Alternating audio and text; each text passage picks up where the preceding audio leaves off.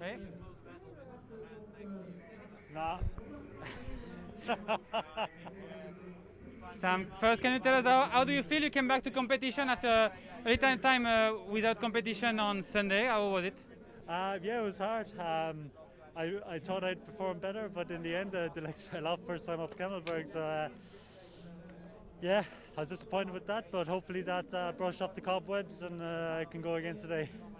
Today is a bit different. It's a bit the World Championship of Sprinters here. How to manage the sprints as such? I don't know, because um, the you know, like as a sprinter, you're used to the last guy, last two guys in front of you being similar.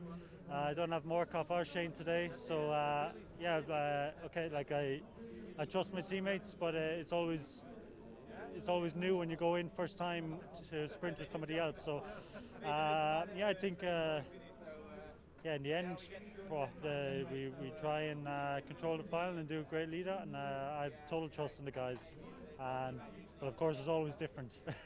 So that does that mean that in any case you will uh, you will trust your lead out, or you, if it goes bad, you will try to another solution? I think uh, I, I trust the guys, and I have to put my trust in them, um, and I want to, and I, I yeah, I will. Um, but I think at, wo- I always have to stay switched on and kind of read the situation as well.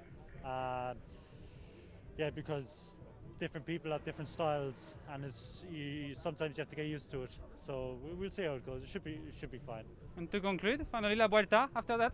Sorry. La Vuelta after that? Yeah, the votes after that. So uh, first time doing two Grand Tours in a year. So yeah, it's uh, be great to see uh, how my limits are. Thank you very much. Best of luck.